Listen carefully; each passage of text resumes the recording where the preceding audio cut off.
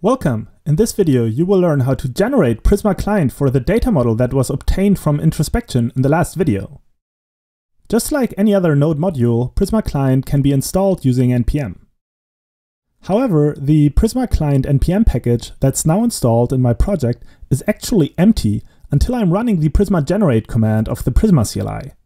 Note however that upon the first installation of the npm package, this command is automatically invoked for me, so I don't need to run it explicitly here.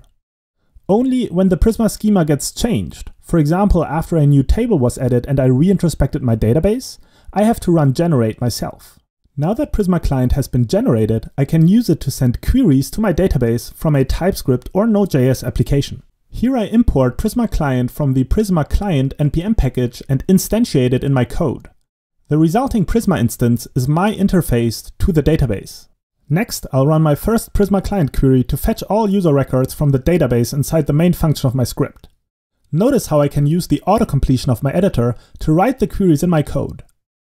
The query response is returned in the form of plain old JavaScript objects, which represent the user records. That's it for this video. In the next video, I'll keep exploring the Prisma Client API and send more queries to the database.